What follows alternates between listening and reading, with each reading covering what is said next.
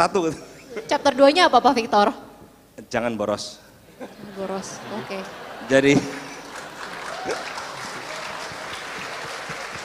Tapi dengan fasilitas yang ada, pasti kita tempted untuk bisa boros untuk spending. Mungkin Pak Victor boleh kasih tips. kalau eh, tips ya kalau yang udah em, hartanya 100 juta ke atas, 100 juta US ke atas, asal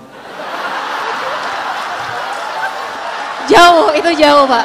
100 juta rupiah dari US dollar. ya misalkan itu katanya boleh spending eh, di bawah 3% dan tetap akan kaya terus panjang hidup ya. Karena kalau 100 juta udah sampai 100 juta.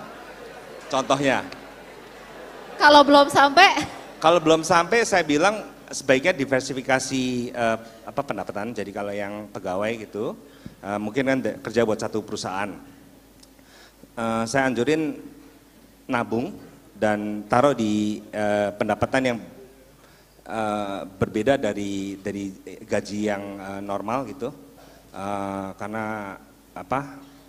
daripada di, di buat foya-foya cepet-cepet gitu, mendingan eh, punya apa eh, nest egg lain gitu di mungkin di saham, mungkin di mutual fund, mungkin di properti yang bisa dijual, eh, disewakan gitu. Ini em, ya saya saya a bit worry karena karena saya lihat di Indonesia banyak yang terlalu eh, cepet, belum baru punya uang dikit kok udah spending banyak gitu.